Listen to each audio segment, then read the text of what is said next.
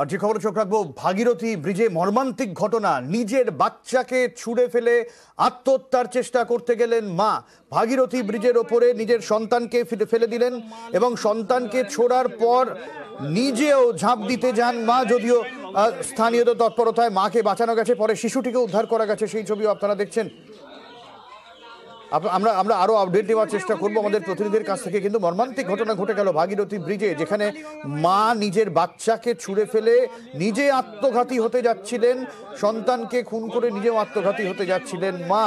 Bridge থেকে সন্তানকে প্রথমে ফেলে দেন এবং সন্তানকে ফেলে দেওয়ার পর নিজেও ঝাঁপ দিতে যাচ্ছিলেন স্থানীয় বাসিন্দাদের তৎপরতায় মাকে আটকানো হয় এবং কোনোভাবে শিশুটিকে উদ্ধার করা হয় এবং জঙ্গিপুর মহকুমা হাসপাতালে আপাতত চিকিৎসাধীন শিশুটি একদম অল্প বয়সী বাচ্চা কেদার রয়েছেন আমাদের সঙ্গে। কেদার, কি ঘটনা ঘটেছিল?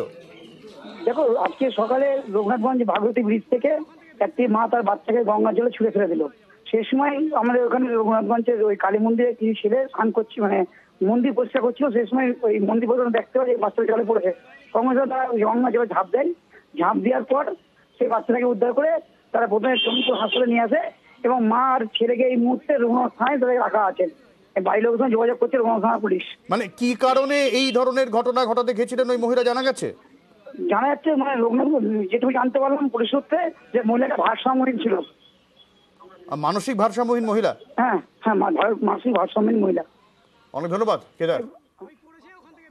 আপাতত যা খবর পাওয়া যাচ্ছে মহিলা মানসিক ভারসাম্যহীন এবং সেই জায়গা থেকেই এই ঘটনা ঘটাচ্ছিলেন এমনটাই স্থানীয় পুলিশ সূত্রে খবর এবং বাচ্চাটিকে উদ্ধার করা গেছে। সেই ছবিও আপনাদের দেখাচ্ছি, পরে পুলিশ এসে বাচ্চা- বাচ্চাটাকে উদ্ধার করে নিয়ে যায় এবং জঙ্গিপুর মহকুমা হাসপাতালে তাকে ভর্তি করা হয়েছে এবং মাকে কোনো মতে স্থানীয় বাসিন্দারা আটকান, মাকেও বাঁচানো গিয়েছে এবং শিশুটিকে উদ্ধার করা গিয়েছে। ভাগীরথী ব্রিজের ওপর এই ঘটনা ঘটেছে। উপর থেকে, ব্রিজের উপর থেকে কি পড়ল? ভাগরতী যে ব্রিজটা একদম। পড়েছে, আমরা তো ওখানে বসে আছি ভাবলাম কিছু বস্তা বস্তা পড়ল বোধহয়।